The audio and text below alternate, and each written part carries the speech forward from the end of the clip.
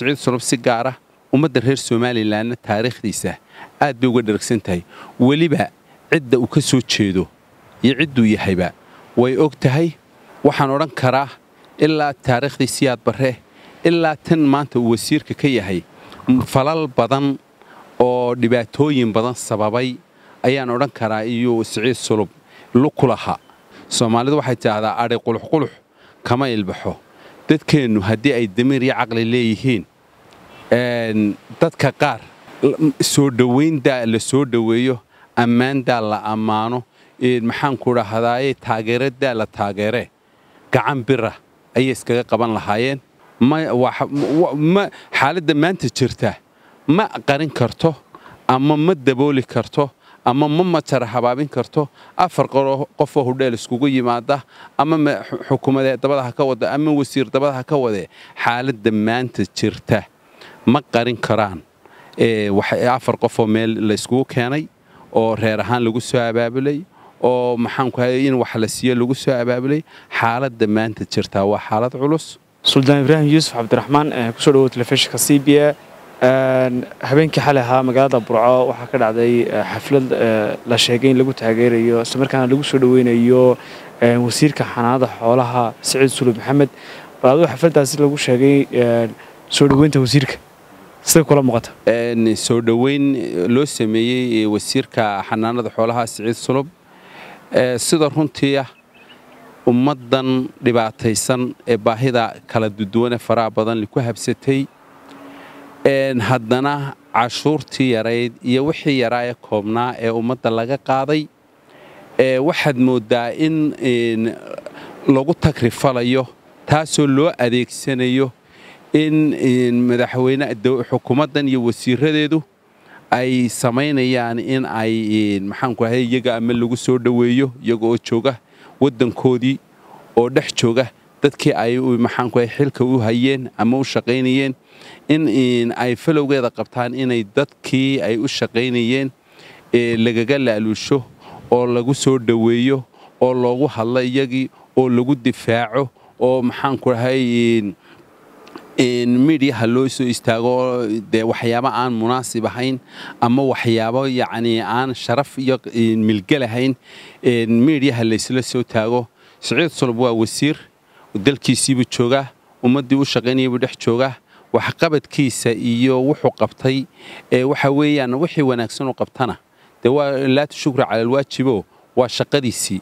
Wixii uu xumeeyaana wuu ku dhaliilanyaho dee wuu ku eedaysan yaho waa howlkarnimo la'aan taasi ma aha inuu kolba tuuluhu tegayo gobolku tegayo intuu dad lacag loo qaybiyo ama uu dad u adeegsado yidhaahda waddooyinka isku kaysooto ama hudheella iyo camira oo igu soo dhoweeyay hadla taasi. Waa mustaxiil waxa weeyaan waa waxyaabo lala yaabo. Haddii aan siciid sulub si gaara ee taariikhdiisa wax uga tilmaamo horta siciid sulub dee waa nin intii cimrigiisa intii ugu badnayd dalka joogay waa nin jiray ilaa iyo dee dowladdii siyaad barre lana kuna taaba qaaday dowladdii siyaad barre ummadda reer somalilanna taariikhdiisa aad bay uga dharagsan tahay weliba cidda uu ka soo jeedo iyo cidduu yahayba way og tahay. Had iyo jeeraale anigu waxaan u aqaanaa wasiirku inuu yahay nin mashaariicaysta ah. Waxaan odhan karaa ilaa taariikhdii siyaad barre ilaa tan maanta uu wasiirka ka yahay falal badan oo dhibaatooyin badan sababay ayaan odhan karaa iyo siciid sulub luku laha sida runtiia maanta dadkeennu haddii ay damiir iyo caqli leeyihiin soomaalidu waxay tidhaahdaa adhi quluxqulux kama ilbaxo. Dadkeennu haddii ay damiir iyo caqli leeyihiin dadka qaar soo dhowayndaa la soo dhoweeyo ammaandaa la ammaano maxaanku dhahdaayey taageeradaa la taageere gacan bira ayay iskaga qaban lahaayeen laakiin ayaan darrada jirtaa waxaa weeye bulshadeennii reer somalilan waxay noqdeen dad dulmiga u hiiliya dad dulmiga qabiileeya dad cadowgooda u hiiliya dad cadowgooda qabiileeya maanta siciid sulub iyo xataa madaxweynaha dalka haysta iyo dad qaar kaloo badaniba ma geyaan ama uma qalbaan inaynu reerayno reernimo ku difaacno. Wax yaroo dhadhama ah oo ay cid siiyeen lagu ammaano lagu difaaco waxay ahaayeen kuwii aynu ka tashan lahayn aynu tala midaysan oo maxaanku dhahday aynu dhammaanteen meel uga soo wada jeedno ka yeelan lahayn. Waase nasiib darro inaynu maalin walba kii inaynu ilowno wixii shalay toole inagu dhacay inaynu ilowno wixii laynagu sameeyey inaynu maxaanku dhahday cid kasta oo dhibaatay noo geysataa wax yar kadib dad ammaanaan waa ayaan darro waxaan leeyahay oo aan leeyahay wallaahi xaaladdu xaaladda maanta jirta ma qarin karto ama ma dabooli karto ama ma matara habaabin karto. Afar qofoo hudheel iskugu yimaada. Ama xukuumadee dabada ha ka wada ama wasiir dabada ha ka wadee xaaladda maanta jirta. Ma qarin karaan. Afar qofoo meel layskugu keenay oo reer ahaan lagu soo abaabulay oo maxaanku in wax la siiyo lagu soo abaabulay. Xaaladda maanta jirtaa waa xaalad culus. Waa xaalad u baahan in ummadda reer somalilan meel uga soo wada jeesato waa xaalad u baahan in laga wada tashado waa xaalad uga baahan in laga galo howl qaran oo lagu badbaadinayo mustaqbalkeeniya ayaheenna dambe.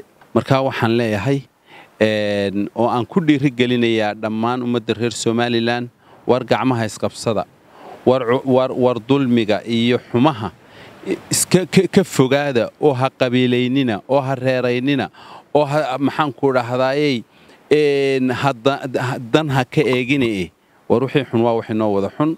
Suldaan ibraahim waad la socotaa xaaladda siyaasadeed ee waqtihadarka somalilan ka taagan muranada siyaasiga. Bal adiga markaad eegto arrimahaas say kula muuqdaan. Sida runtiia xaaladda dalku waxay maraysaa meel halisa oo khatara oo cabsi badan leh ayay maraysaa.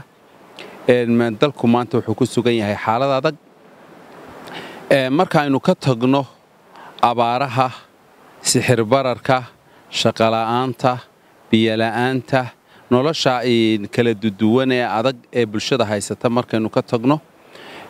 Waxaa jirta xaalad cakiran oo ka abuurantay khilaaf siyaasadeed taas oo khatar badan iyo maxaanku halis badan leh sababina karta inay dalka ka dhacdo aafo iyo dhibaatooyin colaadeed oo saamayn iyo sabab badanba yeelan kara.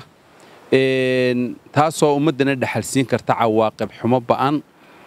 Sida runtii ah waxaa taas sababay ama maxaanku dhahday buddigu ah hoggaankii ama madaxweynihii dalka oo ka leexday wixii loo igmaday ee ahayd inuu ummadda isku wado inuu ka shaqeeyo midnimadooda inuu ka shaqeeyo horumarkooda inuu ka shaqeeyo maxaanku ahay dalka nabad amnigiisa iyo dadka walaalnimadooda ee taasoo uu kaga mashquulay ama uu maxaanku dhahdaayey kaga weecday colaad iyo cadaawad uu u qabo cid gaara sida runtiia xaaladda dalku iyadoo aynu ognahay halkay marayso iyo sida ay tahay waxa ayaan darro ah inuu hoggaankii dalku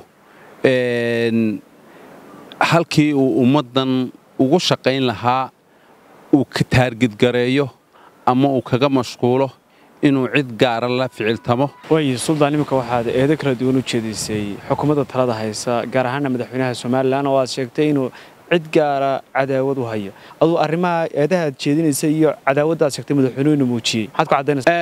Waxa weeyaan horta xaaladda dalka dhammaan ummadda reer somalilan way la wada socota wax ka qarsooni ma jiraan.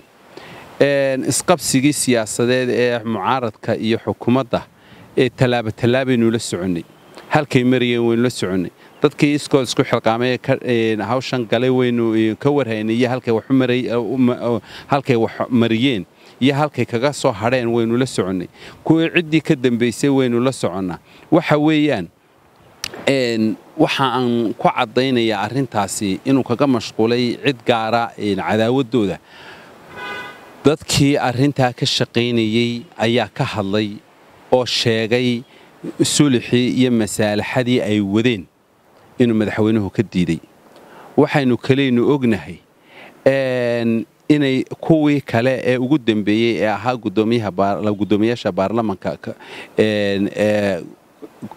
gudoomiyaha xeerdejinta iyo gudoomiyaha guurtidu inay ilaa al'aana ka aamuseen arrintaas. Taasi waxay caddaynaysaa waxay ahaayeen waa dhardhaaradii sinaa waa dhardhaaradii haddii ay wax wanaagsan iyo wax xeera meesha yaallaan isku qancin lahaa ee ummadda u sheegi lahaa.